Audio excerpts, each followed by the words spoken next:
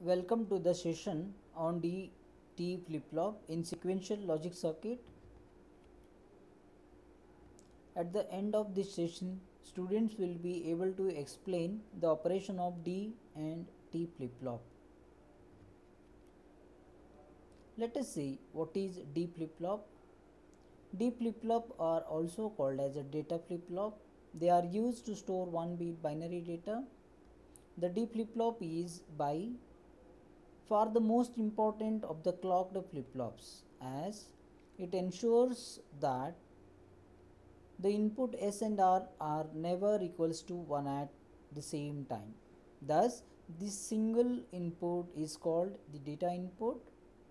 If this data input is held high, the flip-flop would be set and when it is low, the flip-flop would change and becomes reset. A data flip-flop because of its ability to latch and remember data can be used to create a delay in the propagation of the data through a circuit. The basic D flip-flop has D input that is one input and a clock input and outputs Q and Q complement and optionally it may also include the preset and clear control input. By connecting an inverter to the SR flip-flop, we can set and reset the flip-flop using one input as now the two input signals are complements of each other. This complement avoids the ambiguity inherent in the SR latch when both inputs are low. Here table shows D flip-flop truth table. The simplest form of D type flip-flop is basically a high activated SR type with an additional inverter to ensure that the S and R inputs cannot both be high or both low at the same time. In active low clock of SR flip-flop when D equals to 0 there will be no change in the output of the latch. In active low clock of D flip-flop when equals to 1 there will be no change in the output. So if both inputs of the flip-flops are same there will be either no change or invalid output condition. There are many applications where only set and reset conditions of the latch are required. In those applications we can use the inputs which are always the complements of each other. Characteristic table defines the behavior of flip-flop. The characteristic table in the third column of the table defines the state of each flip-flop of a function of its input and a previous state. Qn refers to the present state and q of n plus 1 refers to the next state after the occurrences of the clock pulse. The next state of the D flip flop is completely dependent on the input D and independent of the present state.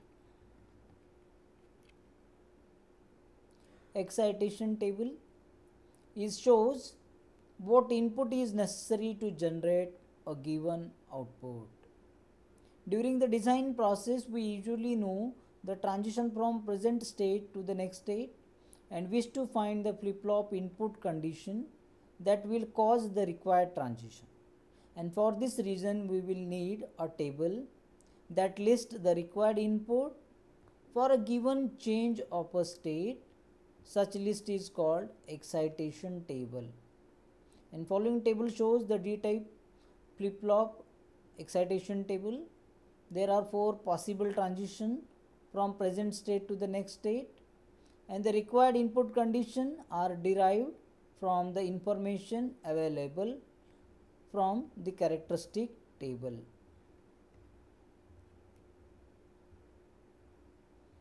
Here a question in D type flip flop if clock input is low the D input you have four options pause the video and write your answer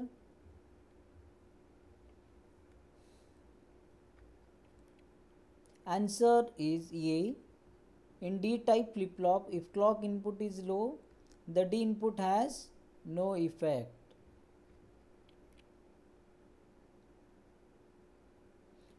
Now we discuss about the T type flip flop. The T in T flip flop stands for toggle. When you toggle a light switch, you are changing from one state to the other state. If the two input J and K of a JK flip flop are tied together, it is referred to as a T flip flop. The process is even easier if you are starting with a JK flip flop. No additional gates are required. If you are starting with a JK flip flop, no additional gates are required. All you need to do is connect the same input signal to both input pins. So, a T flip flop is sometimes called as single input JK flip flop. A T flip flop is like JK flip flop. These are basically a single input version of JK flip flop. This modified form of JK flip flop is obtained by connecting both inputs J and K together. This flip flop has only one input along with the clock input. Hence, a T flip flop has only one input T and two outputs Q and Q complement.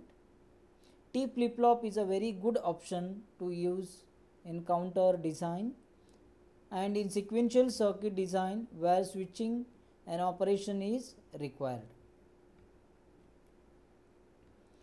T flip flop is an edge trigger device that is low to high or high to low transitions on a clock signal of a narrow trigger that is provided as input will cause the change in output state of flip flop. The truth table of T flip flop is given. If the T input is in 0 state that is j equals to k equals to 0 the Q output will not change with the clock pulse because we know for JK flip flop j equals to k equals to 0 output will be no change. This state is called as memory state. When you provide a logic 1 input to a T flip flop, if the output is currently at logic high, it changes to logic low. And if it is currently at logic low, it changes to logic high. And this state is called as toggle state.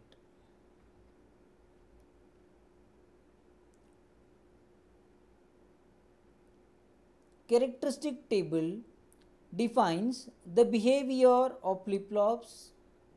The characteristic table is useful during the analysis of sequential circuits when the value of flip-flop inputs are known. The next state for the T flip-flop is same as the present state Q if T equals to 0 and complemented if T equals to 1.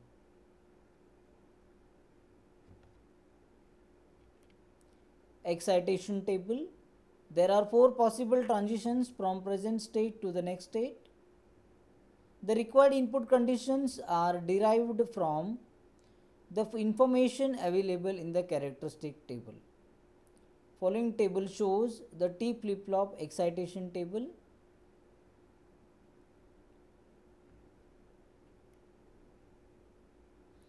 The data or D-type flip-flop can be built using a pair of back-to-back SR latches and connecting an inverter between the S and the R inputs to allow for single D input.